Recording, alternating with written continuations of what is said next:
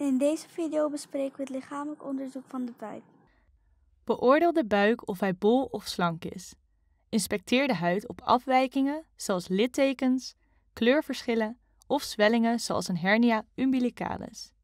Je doet eerst auscultatie in plaats van palpatie, aangezien palpatie de darmbewegingen kan beïnvloeden. Bij auscultatie beoordeel je de darmperistaltiek. Wanneer je geen of spaarzame peristaltiek of juist grootsteengeruis hoort, kan dat wijzen op een ileus of darmobstructie.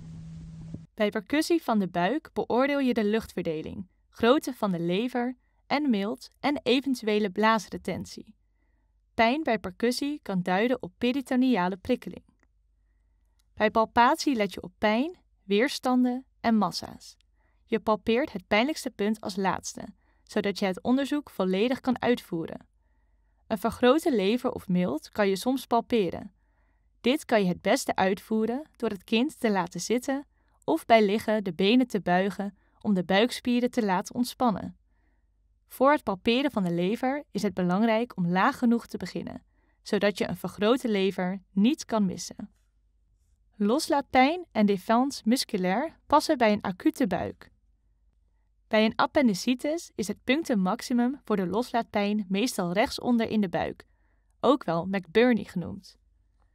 Bij obstipatie kan je soms linksonder in de buik een fecale massa palperen.